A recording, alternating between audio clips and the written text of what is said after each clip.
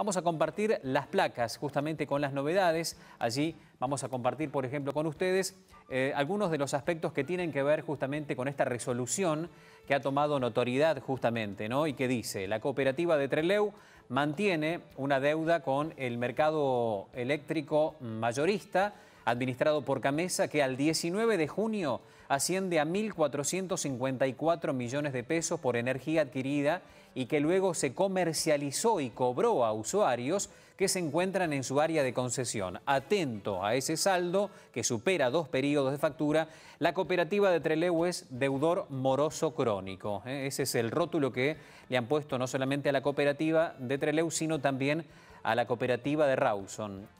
¿Qué consecuencias tienen? Esa es la próxima justamente placa donde aparecen las consecuencias de llegar a esta eh, consideración de moroso crónico. A partir del 23 de julio de hoy, la cooperativa de Treleu se encuentra obligada a disminuir la demanda mensual de energía eléctrica en un 10%, hasta tanto regularice su situación con Camesa, quedando bajo exclusiva responsabilidad la elección de las formas en las que se va a ahorrar. Se aclara que la cooperativa de Treleu no podrá, bajo ninguna circunstancia, por ejemplo, aplicar el ahorro en eh, establecimientos de la población como hospitales, centros de salud, electrodependientes, todo el arco que, imagínense ustedes, conlleva al suministro y al servicio de la energía eléctrica.